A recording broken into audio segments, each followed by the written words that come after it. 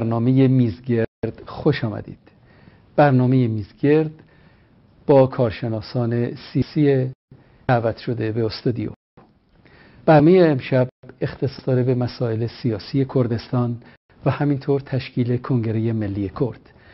مهمانان عزیز این برنامه آقای احمد اسکندری آقای حسن شمسی و همینطور محمد آسنگران هستند.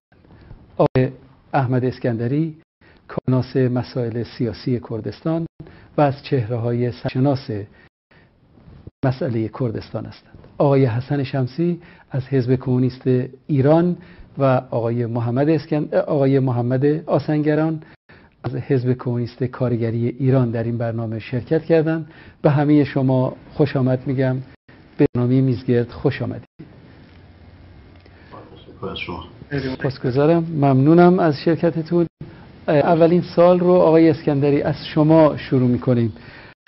همینطور که مطلع هستید تشکیل کنگره ملی کرد مداوما به تعویق میفته اول سوالم اینه که چرا این کنگره اصلا می‌خواد تشکیل بشه؟ چه اهدافی داره؟ و نکته بعدش هم اینه که به ابتکار چه نیرویی این کنگره قراره که تشکیل بشه. بفرمایید. با عرض سلام خدمت بینندگان. این دیل کنگره ملی تاریخچه نسبتا طولانی داره. به نظر من اون چیزی که عامل اصلی هست اینه که به موقعیت تاریخی جغرافیایی ملت کرد در خاورمیانه برمیگرده. همونطوری که اطلاع دارین الان مردم کردستان بزرگترین ملت دون دولت دنیا رو تشکیل میدن و در طول تاریخ به خصوص 400 500 سال گذشته ملت کرد از تشکیل دولت ملی خودش محروم بوده و خب دلیل اتفاقاتی که در منطقه و در جهان افتاده به این صورت فعلی در اومده و این جغرافیایی که نتیجه در نتیجه پیمان ساکس پیکو در سال 1916 در گرماگرم جنگ جهانی اول هست این وضعیت ادامه داره. اگرچه بعضی از کارشناسان منطقه معتقدند که ممکنه تغییراتی در حال گرفتن باشه. به حال با توجه به اینکه جنبش های کرد در چهار بخش کردستان همواره برای احقاق حقوق ملیشون در تلاش بودن و مبارزات بسیار طولانی انجام گرفته و که البته نتیجه سرکوب و کشتار و ویرانی بسیار زیادی هم بوده. بنابراین طبیعی هست در شرایطی که یک بخش از کردستان یه حالت نیمه مستقل داره. از این موقعیت استفاده بشه و با توجه به اوضاعی که در کردستان منظورم کردستان عراق بود و با توجه به تحولاتی که در کردستان ترکیه هم نوروز امسال پیش آمده بود این خواست به نوعی در سطح اومد بالا و در اولویت ویژه‌ای قرار گرفت. از یک طرف همه احزاب سیاسی کرد و مردم کردستان در هر چهار بخش کردستان و حتی کردایی که خارج از کردستان هستند همه خواهان و مایل به تشکیل این کنگره بودند چا برای اینکه احساس می‌کردند تشکیل همچین کنگره و در کنار هم گذاشتن نیروهایی که بعضا اختلافات عمیق سیاسی و ایدئولوژیک هم با هم دارند با وجود این می‌تونه صدای واحدی رو در صحنه بین المللی به کردها بده و از این صدا و از این موقعیت بتونن استفاده بکنن. برمیگردیم به شما آقای شمسی. آقای اسکندری سوالم از شما هست آقای حسن شمسی. شما چه فکر می‌کنین؟ این کنگره ملی کرد به چه علت انقدر به تعویق افتاد تشکیلش؟ و همینطور همینطور که از آقای اسکندری هم پرسیدم ابتکار برگزاری این کنگره به دست با چه نیروی سیاسی در کردستان هست؟ همچنان که آقای اسکندری هم گفتن این تشکیل کنگره ملی یه سابقه طولانی داره. این بار اول جواب سوال بخش آخر سوالتون بدم. این بار ابتکار تشکیل کنگره ملی با حزب دموکرات کردستان عراق بود. که در واقع بخشی از حاکمیت در کردستان عراق هم داره. و معلوم بود که از اون جلسات اولی که شروع شد معلوم بود که هدف برگزاری چنین کنگره نه رسیدگی به وضعیت مردم کردستان و نه در خدمت رفع ستم ملی بلکه با اهداف سیاسی داره تعقیب شده دنبال میشه.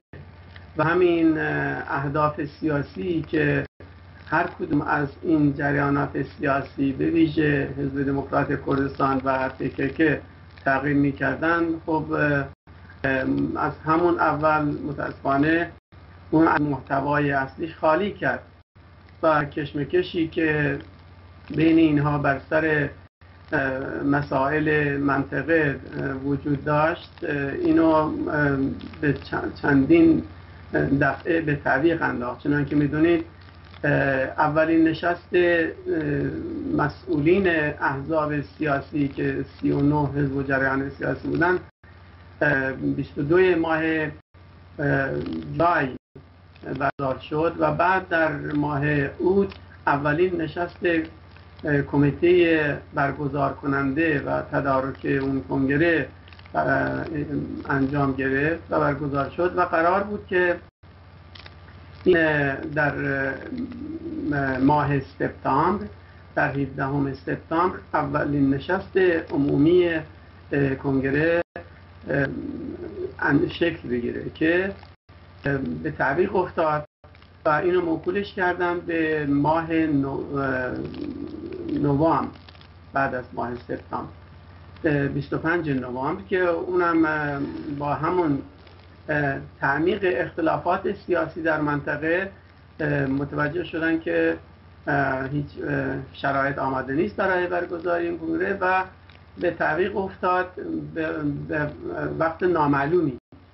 البته اینا هم بگم که در این فاصله دموکرات کردستان عراق با ابتکار دولت ترکیه یک کنگره آلترناتیو در استانبول برگزار کرد که اونم در واقع از محتوای اصلیش از اون هدف اصلیش دور شده بود و معلوم بود که به نتیجه نمی‌رسه. ممنونم. میگردیم با سوالاتی دیگه. با شما خواهیم بود. آقای محمد آسنگران نظر شما در رابطه با دو سوالی که مطرح شد چیه؟ همچنان که آقای حسن شمسی هم گفتن این کنگره هدف خودش رو وقتی اعلام کرد نه مسئله تشکیل دولت کردستان بود نه حل مسئله ملی و نه رفع ملی. دو تا هدف مشخص رو بارزانی در جلسه اول به عنوان کسی که فراخان داده بود به تشکیل این کنگره و همراه با پکاکا عمدتا و در درجه سوم اتحادیه میهنی هدف کنگره رو دو, دو تا معلفه تعریف کرد. یکی این که بتونن دیالوگ واحدی رو با دولت های منطقه تعقیب کنن و یکی این که خودشون این احزاب صاحب یک دیالوگ واحد بشن و بتونن با این دیالوگ واحد سازش و پیام سازش و صلح در واقع پیام صلح و آشتی گفته بود بفرستن برای دولت های منطقه. این دو تا هدف رو بارزانی در جلسه اول وقتی دعوت کرده بود اعلام کرد به عنوان هدف کنگره ملی کرد. معلوم بود که اینا دارن یک سیاست رو تعقیب می‌کنن. اولا بگم که این خواست مردم کردستان نبود چون هیچکس نرفت از مردم کردستان نظر خواهی کنه. این خواست احزاب ناسیونالیست کرد بود که فراخوان دادن و دلیلش هم واضح بود. اول مزه دهن ترکیه رو چشیده بودن و اردوغان رسما اعلام کرد که اگر بارزانی به عنوان نفر اول این کنگره برگزیده بشه مخالفتی نداره. بعدا وقتی بر سر مسئله سوریه پکاکا و ترکیه و بارزانی با هم اختلاف منافع متفاوتی پیدا کردن و هماهنگ نشدن اون موقع بود که فاصله بین پکاکا و بارزانی افتاد و این اختلاف منافع عملا با نزدیکی بارزانی یکی از احزاب اصلی فراخوان دهنده به ترکیه و نزدیکی پکاکا به جمهوری اسلامی و اسد الان باعث شد که اختلافات دیگه هم اوج کنه و عملا این کنگره به سرانجامی رسید که خودشون اعلام کردن فعلا برای مدت نامعلومی به تعویق میفته و مشخصا میشه گفت که فعلا تا وقتی که حل و فصل اختلافات بین پکاکا و بارزانی چشمانداز نباشه عملا داستان این کنگرم رفته تا اون موقع. که این اختلافات حل و فصل میشه منفعتشون و موقعیتشون در نزد دولت ها تعیین می‌کنه. چون برمیگردیم به نکات شما آقای آسنگران اجازه بدید با سوال دیگه ای بحث رو پیش ببریم.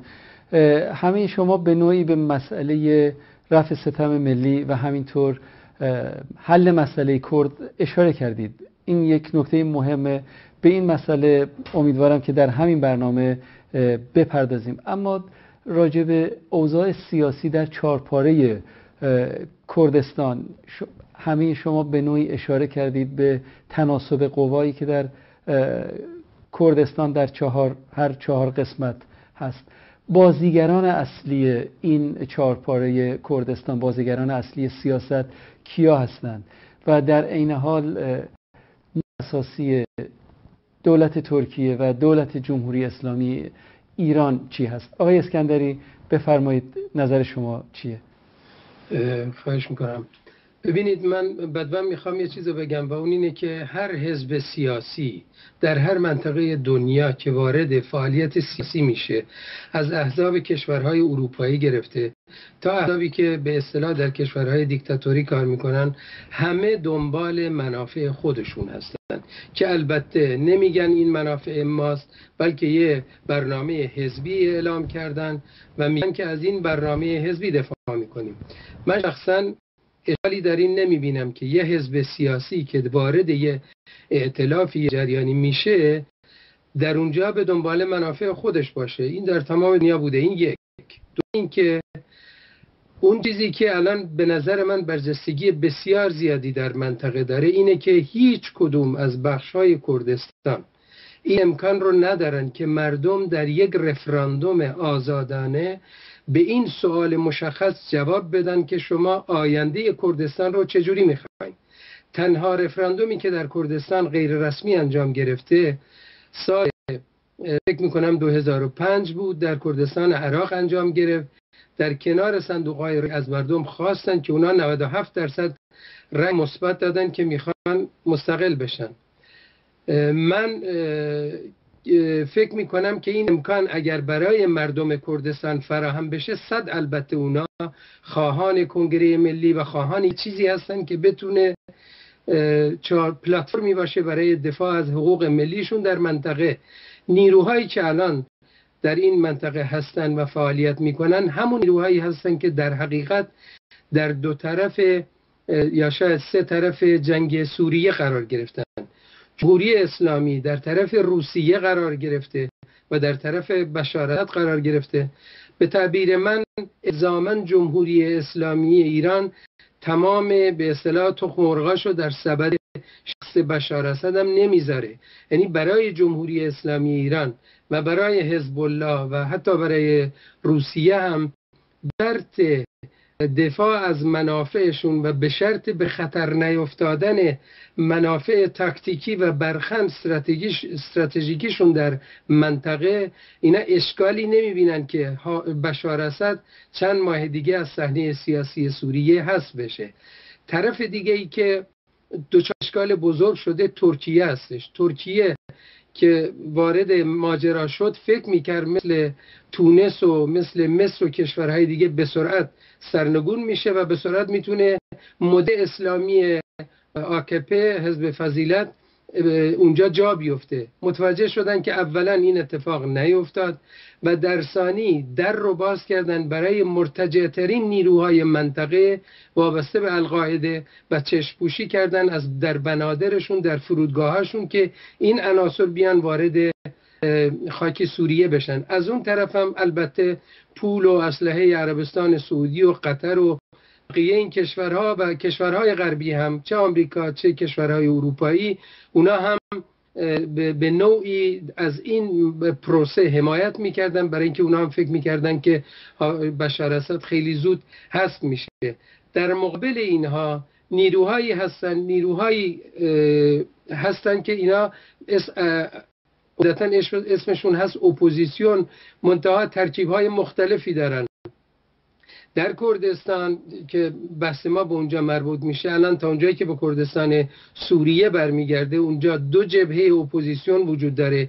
یه جبهش در حقیقت همون خط پیکاکا رو تعقیب می‌کنه. منتها دو کار رو انجام داده. موفق شده به نظر من به انجام دو کار. اولا این که یه نیروی مسلحی رو تشکیل داده و شهرهای کردستان رو از این کشت و کشتار و از این ویرانی که ما هر روزه شاهدش هستیم در طول تقریبا سه سال گذشته دور نگه داشتن. این یک.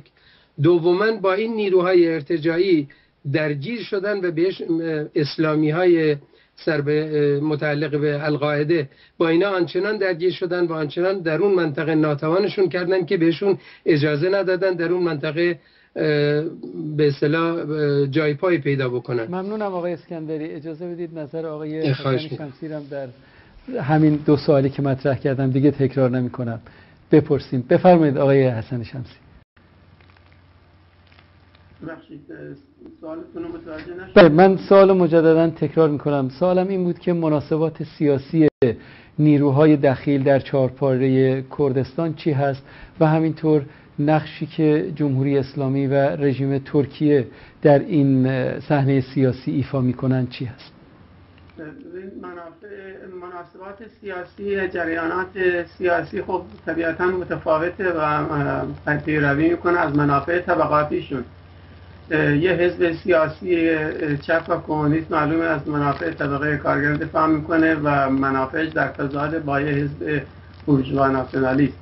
اینه که خب تا اونجایی که به خود احزاب ناسیونالیست هم مربوط میشه متاسفانه اون مسئله ای که در اون اصطلاح چارچوب طرح کنگره ملی مطرح شده رفتی به مسئله کرد نداشته و هدف هم می‌بینیم که یه چیزهای دیگری هست. تا اونجایی که به از نظر ما تا اونجایی که مربوط میشه به پارت پارتی یعنی حزب دموکرات کردستان عراق این وارد یک پروژه استراتژیک شده خیلی خیلی عظیم با خود دولت ترکیه و مسئله نفت مطرحه و ترکیه می‌خواد به یک ترمینال نفتی تبدیل بشه که بتونه نفت کردستان رو هم منتقل بکنه. اون قراردادهایی که بسته با حکومت کردستان عراق اینو نشون میده. الان در حال حاضر شرکت های بین المللی عظیم نفتی دارن اونجا کار می‌کنن و منابع عظیم نفت و گاز رو اکتشاف کردن و دارن بهره برداری می‌کنن.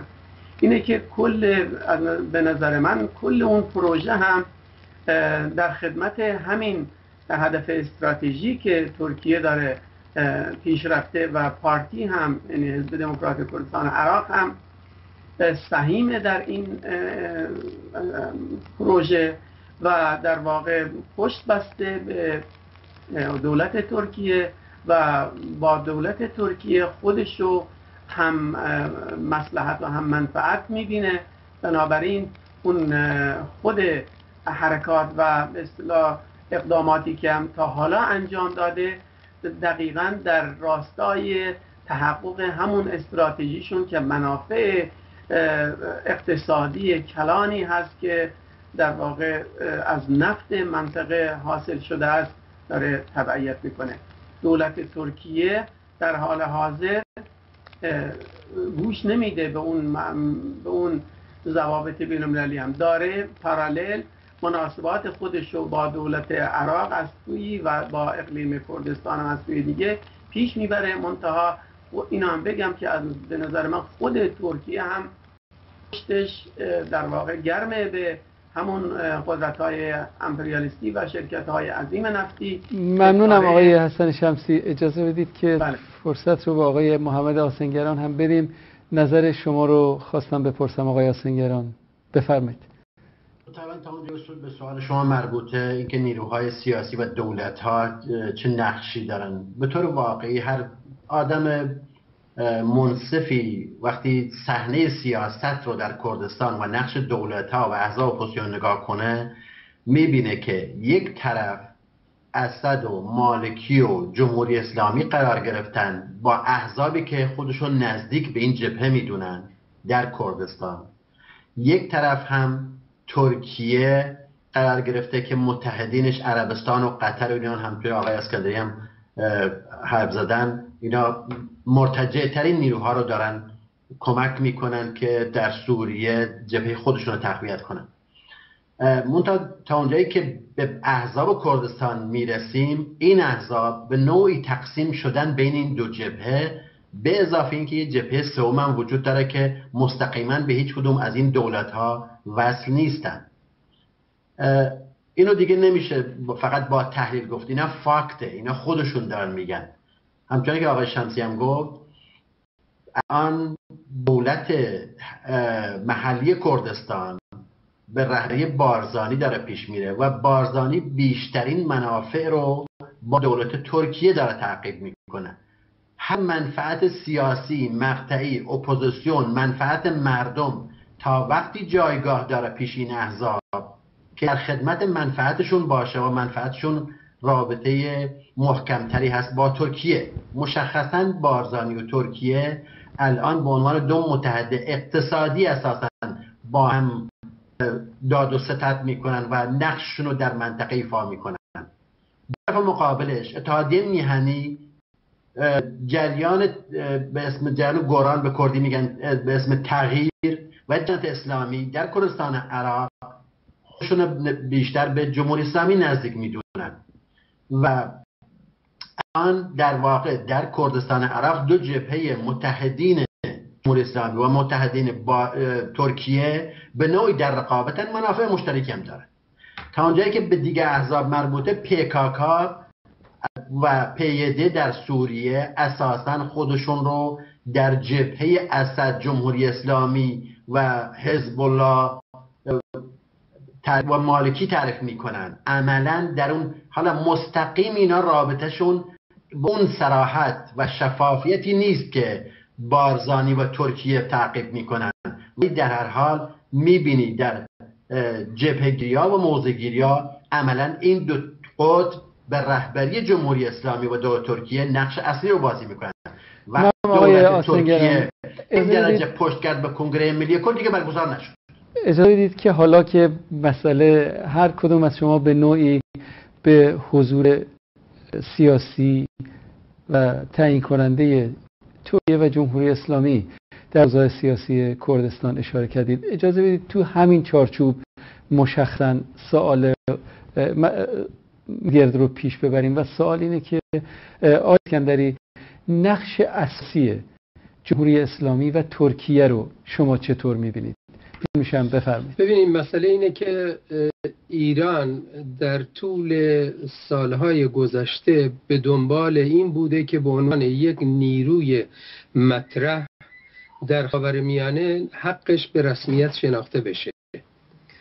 قبل از جنگ قبل از حمله آمریکا به عراق و سقوط صدام حسین اینا روی این میکوبیدن که و فکر می‌کردن که غرب آمریکا خطشون رو می‌خونن و قبول می‌کنن. وقتی که صدام حسین سقوط کرد به اون صورتی که دیدیم ایران یعنی جمهوری اسلامی در حقیقت عقب نشینی کرد. در این عقب نشینی نگران این شد که مبادا همونطوری که یه عده خوشخیال فکر می‌کردن که سناریوی عراق در ایران هم تکرار میشه مبادا این سناریو در ایران هم تکرار بشه. سالها که گذشت و به اون صورت دیدیم که نیروهای آمریکایی چه در افغانستان چه در عراق به اون صورت گیر کردن و درگیر شدن. بنابراین یواش یواش این مسئله مطرح شد که ایران نه مشکلی بر سر راه بلکه یک کسیه که می‌تونه در حل مسائل خاورمیانه باشون همراهی بکنه. و به نظر من نقطه اوج این مسئله رو ما در همین توافقات آخرین نشست ژنو بین جمهوری اسلامی و پنج به علاوه یک دیدیم و این نتیجه این واقعیت که هم غرب به سرکردگی آمریکا و هم جمهوری اسلامی متوجه شدن باید امتیازاتی بدن و به نقطه مشترکی برسن هرچند بسیار لرزان و شکننده و همه این چیزا. این از یک طرف. از طرف دیگه ترکیه خودشو به عنوان آلترناتیو گویا اسلام معتدل در منطقه مطرح می‌کرد و هیچ کس نمی‌تونه انکار بکنه که در طول ده سال گذشته حکومت دولت آقای اردوغان وضع اقتصادی ترکیه بهبود پیدا کرده و تونسته سرمایه گذاری های عظیمی در کشورهای عربی و کشورهایی که بهشون میگن اسلامی انجام بده. این مسیر ترکیه با وجود اینکه عضو ناتو بود و با وجود اینکه یک در حقیقت یکی از اخمار غرب به حساب میاد منتها همیشه حواسش بود که همسایه مهمی داره هم به لحاظ جلب منافع یا دفاع از منافع استراتژیک غرب و هم برای حفظ منافع خودش و دیدن آینده دورتر بنا رو بر این دیدن که با ایران یک مسالمت روابط مسالمت آمیز واقعی داشته باشند و الان خیلی ها به نظر من به درستی میگن که آقای اردوغان داره دنبال اون خواب و خیالی هست که یه وقتی آتاتورک بوده و می‌خواد این راه رو ادامه, ادامه بده. حالا مسئله اینه که از اونجایی که صحنه سیاست آزمایشگاه فیزیک و شیمی نیست که شما بتونین به اندازه کافی مواد مختلف رو قاطی بکنین یا عکس ها رو ببینین اتفاقاتی در منطقه افتاد و مقاومتی که حکومت بشار اسد کرد بر روی روابط ترکیه و ایران در منطقه تاثیر گذاشته و طبیعی البته که هر کدوم از اینا میتون عملهایی نشون بدن در رابطه با احزاب و سازمان هایی که هستن. برای نمونه مثلا مدت های مدیدی حزب پیده یعنی همون حزب کردی طرفدار پکاکا در کردستان سوریه اینا تقریبا جزء ممنوع الورود بودن و قاچاق بودن توی ترکیه. همچی چیزی امکان داشت که ملاقات بکنه باشون. بعد از یه مدت دیدیم که با وزیر خارجه ترکیه ملاقات کردن و هیئتی رسمی از طرف این حزب در وزارت خارجه ترکیه پذیرفته شد. یعنی اون این منافع رو ایجاب می‌کردن. همین الانش هم یکی از تلاش های ترکیه که اتفاقا هم جهت و همسویی با ایران پیدا می‌کنه اینه که کاری بکنن که هیئت نمایندگان کرد قرار در ژنو دو دیگر رو ببینن در ماه ژانویه این هیئت در چارچوب هیئت اپوزیسیون سوریه اونجا ظاهر بشن نه با عنوان نمایندگان کرد. و با وجود تضاد منافعی که در منطقه دارن هم جمهوری اسلامی و هم ترکیه بر این مسئله توافق دارند چرا؟ برای اینکه به نفع هیچ کدوم از این دولت ها نیست که مسئله کرد در چنین سطحی و در چنین زمانی مطرح بشه. ممنونم آقای اسکندری از توضیحات توضیحاتی که دادید. آقای حسن شمسی بازیگری جمهوری اسلامی و ترکیه رو در اوضاع سیاسی کردستان چگونه ارزیابی می‌کنید بله به نظرم الان در این مقطع اگه سالهای دهه 80 و 90 رو در نظر بگیریم مقایسه بکنیم در اون سالها اگر اختلافات دولت هایی که کردستان در اونجاها قرار داره عراق ایران ترکیه و سوریه بر سر مسئله کرد الان فکر نمی کنم که اینجوری باشه. الان بیشتر مسائل و منافع و توازن قوای منطقه‌ای رو در نظر دارن و اون اعتلاف هایی که اشاره شد در اینجا بهش نه تنها در سطح منطقی بلکه در کشمکشی که الان در سوریه در جریان هست یک صفبندی بین المللی را داره به نمایش می‌ذاره. فراموش نکنیم که یک نیروی واقعی و همچنین یک ستون اصلی کشمکش ها در سوریه از یک طرف روسیه هست از طرف دیگه آمریکا و کشورهای امپریالیستی و اون کشورهای منطقه‌ای در واقع در اون صفبندی ها دارن عمل می‌کنن. اینه که موضع جمهوری اسلامی تا اون جای در هر جای فرق می‌کنه. تا اون جایی که به سوریه مربوط میشه جمهوری اسلامی و همچنین روسیه. از کردها می‌خواد که دوش به دوش نیروهای بشار اسد اونجا بجنگن. بر علیه هم نیروهای اسلامی تندرو و هم بر علیه اون نیروهایی که به اصطلاح ارتش آزاد هستند. و تا اونجایی که به روسیه و خود به آمریکا و ترکیه هم مربوط میشه اونا از کردها می‌خوان که در جهت مقابل عمل بکنن. ولی تا آنجایی که مربوط میشه به خود اون تحولاتی که در سوریه رخ داده من موافق هستم که خلایی به وجود اومده بود آقای اسکندری هم اشاره کردن. یه خلای قدرتی به وجود اومده بود و نیروهایی که نیروهای پیده از این فرصت استفاده کردند و کنترل اوضاع را در اونجا به دست گرفتن که این به خودی خود نه منفی نبود بلکه مثبت هم بود. و الان دارن در فکر این هستن که خب یک شورای حکومتی درست بکنن یک حکومت محلی درست بکنن که از 82 عضو داره این شورا تشکیل میشه و مقدمات یک تشکیل این یک همه پرسی و تشکیل انتخابات رو فراهم بکنن. اینه که اینا اگر تشکیل بشه و پیش برن و همچین حکومتی در اونجا درست بشه می‌تونه مؤثر باشه به شرط اینکه از یک طرف متعهد باشه به حفظ آزادی های دموکراتیک و و متکی باشه به نیروهای مردم که دخالت بده. نیروهای کل مردم رو در سرنوشت جامعه و از طرف دیگه هم وارد این بازی های قدرت های بین نشه و بتونه اون حکومتی که در اونجا تشکیل میشه از یک در واقع با دو تا خطر روبرو هست دیگه. از یک طرف خطر رعایت نکردن آزادی و دموکراسی در داخل و از سوی دیگه هم با خطر دخالت نیروهای خارجی. ممنونم آقای شمسی. اجازه بدید نظر آقای آسنگران رو هم بپرسیم. شما آقای آسنگران معتقد هستید که جمهوری اسلامی و دولت ترکیه بازیگران اصلی صحنه سیاست در اوضاع سیاسی کردستان هستند؟ متاسفانه باید بگم هم سرکوبگران مردم کردستان هستند و هم متحدین احزاب اپوزیسیون در جبهه ناسیونالیستای کرد. دو تا دولت سرکوبگر که خون هزاران نفر از مردم کردستان رو ریختن و همین الان هزاران فعال سیاسی در زندان این دولت ها به سر می‌برند از مناطق کردنشین. ولی می‌بینیم که از اون ور اتحادیه میهنی و جریانات اسلامی که حرجی بر اونا نیست و جریان تغییر رابطه خوب و دوستانه و متحدی با جمهوری اسلامی دارن. از این ورم بارزانی همون رابطه دوستانه و خیلی محکمتر و عمیقترش رو با ترکیه. یعنی سر دولت های سرکوبگر مردم و کردستان الان شدن دولت های دوست احزاب ناسیونالیست.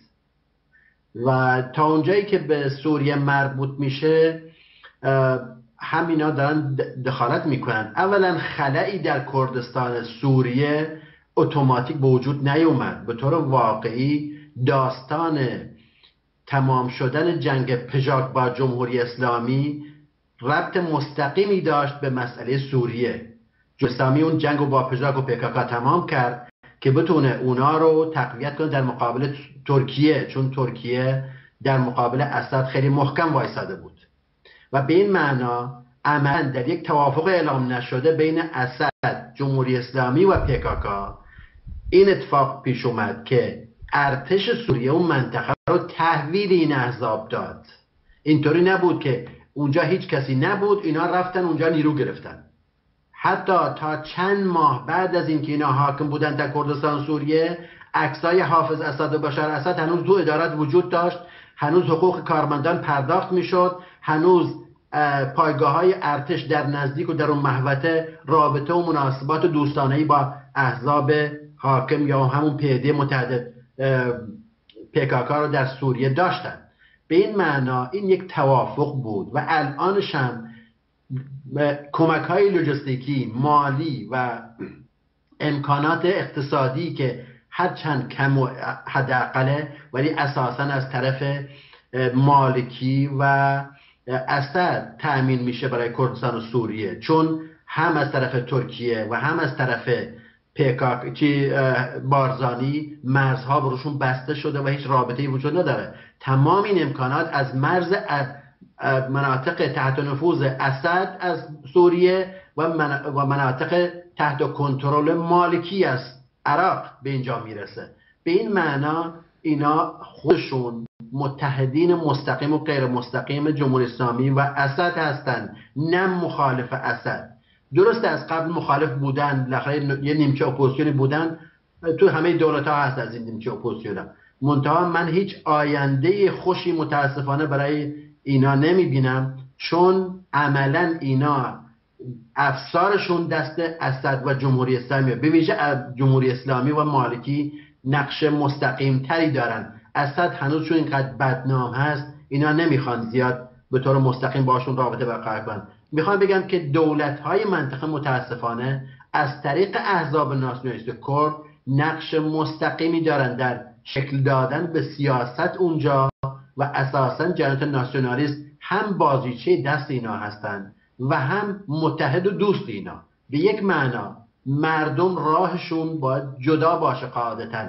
از این احزاب و از این نیروها و از این دولت ها چون من بارزانی اجازه بدید در فرصت باقی مانده به مسئله پیش بره و نمی‌خواد پیش بره من اجازه بدید در فرصت کوتاه باقی مانده بپردازیم به اوضاع سیاسی در کردستان سوریه. اوضاع به چه سمتی میره؟ آقای اسکندری بفرمایید.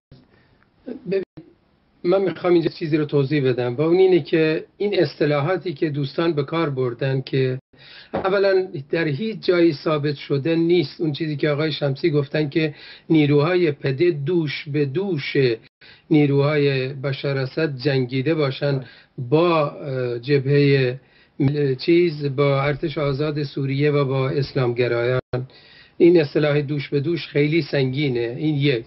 در ثانی این که اولا به این لحن تحقیر کردن احزاب کردی من می‌فهمم جریانی بگه که یه حزبی یه جریان ارتجاعی ناسیونالیستی فلانه.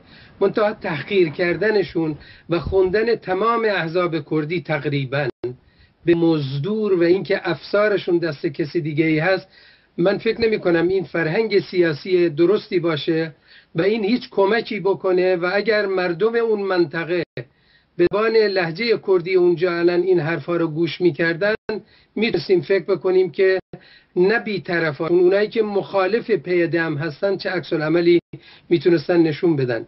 به نظر من اون اتفاقی که در کردستان ترکیه سوریه الان افتاده درست اون اتفاقیه که و یا به درجات زیادی اون اتفاقیه که سال 1990 در کردستان عراق اتفاق افتاد. و اونم این بود که نه جنگی بود نه حمله ای بود نه هیچی. ارتش عراق در یک روز معین تصمیم گرفت نیروهاش از یک بخش از کردستان خارج کرد و به طور خود به خودی و بدون جنگ و بدون اینکه آزادسازی و از این چیزها در مطرح باشه کردستان افتاد دست حزبای احزاب سیاسی که اونجا بودن. چی که الان در اتفاق میفته اینه که متاسفانه اختلافات در درون کردستان شدید بوده. اون حرکتی که آقای امسی اشاره کردن که یه نوع حالت خودمختاری رو اعلام کرده بودن که اول بعدش فهمیدن که عکس العمل بین المللی و نمی‌دونم فشار کردستان عراق این ور زیاد بود. و جریانات اتفاقا ناسیونالیست عربی سوریه. البته بخش عمدهش هم در دمشق هستش. فشار اینا هم انقدر زیاد شد که اسمش عوض کردن. و اینا الان مسئله ای که هست اینه که دو جبهه در کردستان سوریه پیش درست شده. یکیش که کنترل اوضاع رو در دست داره و اون الان کنترل می‌کنه و راستش اسلحه و چیز خیلی زیادی هم نیست که مالکی براشون بفرسته. اسلحه هایی که استفاده می‌کنن چیزهایی که استفاده می‌کنن اون منطقه هست و احتیاج زیادی نیست از جای دیگه بیاد. من آرزو داشتم هیچ اسلحه ای وارد نمی‌شد از هیچ کجا به طور کلی.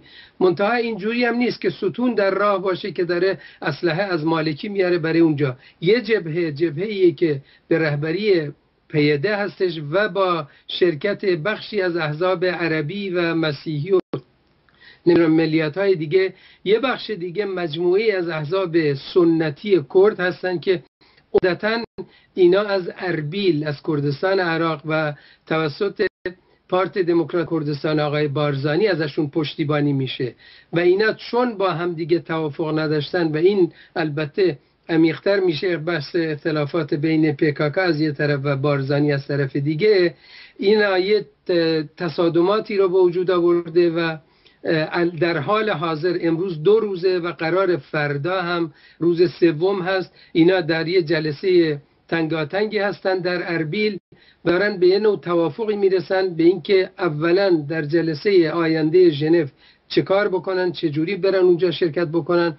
و در ثانی اختلافات داخلی خودشونو چجوری حل بکنن؟ تصور من اینه و من فکر می‌کنم هر چیزی که با یه نوع بینش روشنی وضعیت سوریه را الان ببینه اینو می‌فهمه که بشار اسد به هیچ وجه در موقعیتی نیست که احزاب مزدور رو نمی‌دونم نوکر و اینا در منطقه داشته باشه. خودش دو دستی گرفته کلاه خودش رو حفظ بکنه. اینکه این دولت فعلی سوریه برگرده و در کردستان حاکمیت برقرار بکنه یکی از احتمالات بسیار ضعیفی است هر تغییر و تحولی بشه هر اتفاقی بعد از ژنو دو بیفته و در سال 2014 که دوره ریاست جمهوری بشار اسد تموم میشه هر کسی دیگه هم سر کار بیاد یک حکومت ضعیفی خواهد بود که نمی‌تونه از شرکت شرکت دادن اپوزیسیون و از جمله اپوزیسیون کرد و درست کردن نوعی دولت ائتلافی سرپیچی بکنه و چشم‌پوشی بکنه. بنابراین تحولات قاطی اون چیزی که در کردستان رخ میده بستگی داره به تحولاتی که در خود سوریه انجام می‌گیره و این هم البته بستگی داره به بازی قدرت های بزرگ در منطقه و قدرت های هم. ممنونم آقای اسکندری. اجازه بدید از آقای شمسی هم همین سال رو بپرسم که اوضاع سیاسی در کردستان سوریه رو چطور ارزیابی می‌کنن؟ بفرمایید آقای شمسی. آقای اسکندری رو اصلاح بکنم که اینشون متوجه نشدن. من گفتم تا اونجایی که به روسیه مربوطه اون و ایران اونها می‌خوان کردها دوش به روی نیروهای اسد بجنگن. نگفتم اینا نیروهایی که اونجا هستن دارن این کار می‌کنن. و تا اونجایی که به ترکیه و آمریکا هم مربوطه اونها می‌خوان برعکسش رو عمل بکنن. کردها برعکسش موضع بگیره ولی تا اونجایی که به خود اوضاع سوریه برمیگرده به نظر من ما باید از سر منافع خود مردم حرکت بکنیم. مردم کردستان در این فاصله تونستن از این وضعیتی که پیش اومده از هر دو طرف یک جنگ ارتجاعی ضد مردمی در جریان هست. نیروهای اسلامی و نیروهای ارتش آزاد کمتر از خود نیروهای رژیم اسد و حزب الله و ایران جنایت نکردن اونجا. همینی که کردستان تا این حد حفظ شده ویران نشده کشتار آنچنانی درش ایجاد نشده خب این به خودی خود به نفع مردم تمام شده. طبیعی هست که اگر بتونن همین وضعیت رو نگه دارن و قاطی نشه حداقل یک گوشه از سوریه حفظ بشه به حال اونا مردم هستن دیگه. خب اشکال داره. خوبه و به نفع مردمه. و در این فاصله در فاصله می‌تونن اگه, اگه بتونن نهادهای دموکراتیک حاکمیت مردم را ایجاد بکنن خب طبیعا بهتر میشه. درس و تجربه خوبی میشه برای همون ابزارهایی که باید در دست داشته باشن برای اعمال حاکمیت خودشون. اینه که آقای حسن شمسی فرصت خیلی کوتاه هست. اجازه بدید که از آقای آسنگران هم همین پرسش رو داشته باشم. بفرمایید آقای آسنگران. وضعیت سوریه به حال تا اونجایی که توضیح داده شد معلومه که این در نتیجه اختلافات دو قطب طرفدار اسد و مخالفین اسد این اتفاق افتاد تو کردستان. منم فکر کنم تا اونجایی که از کشت و کشتار ویرانی بین جنات ارتجایی در سوریه اینجا کمی فاصله گرفته همینش یه قدم مثبته. جبهه ارتجا و تروریست در سوریه الان یک طرف اپوزیسیون اسلامی و یک طرف بشار اسد قرار گرفتن که هر کدوم متحدین و مخالفین خودشون رو دارن یک طرف پشتش به جمهوری اسلامی و حزب الله و روسیه بنده یک طرف پشتش به عربستان و آمریکا و ترکیه و به درجات اروپا وصله. به این معنا یه جبهه القاعده هم هست که ظاهرا کسی دفاع ازش نمی‌کنه ولی مستقیم و غیر مستقیم ترکیه اینا رو هم, تقویت می‌کنه. در همین حد که این جریانات ارتجایی اسلامی و براسه دارن حاکمیت نمی‌کنن در کردستان در هر توافقی که بوجود اومده که قبلا توضیحش دادم مثلا همش یه قدم مثبته.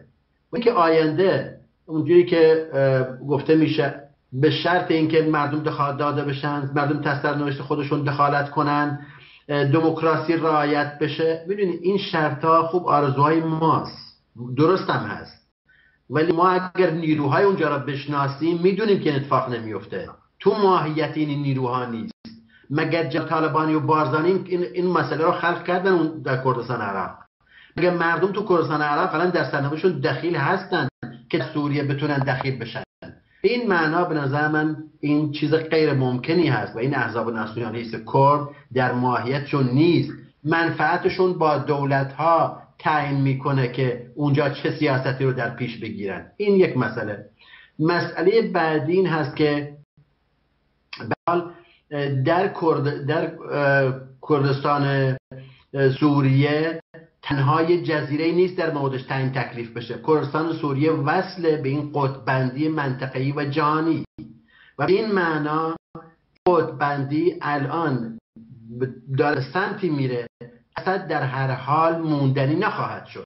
چه با دفاع دفاعی که الان روسیه و جمهوری اسلامی ازش می‌کنن چه با مسائلی که در منطقه در جریان هست.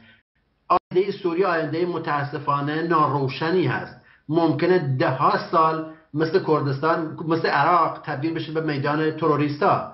ولی در کردستان عراق هم یک نوته یادم نره. اسکندری گفتن که اونجا مردم رای دادن به جدایی. بله منم فکر می‌کنم رای دادن به جدایی. ولی همون احزابی که شما بهشون امید داری بخلاف نظر مردم عمل کردن و کردستان عراق رو مستقل اعلام نکردن و اونا رفتن دنبال معاملاتشون با دولت های منطقه.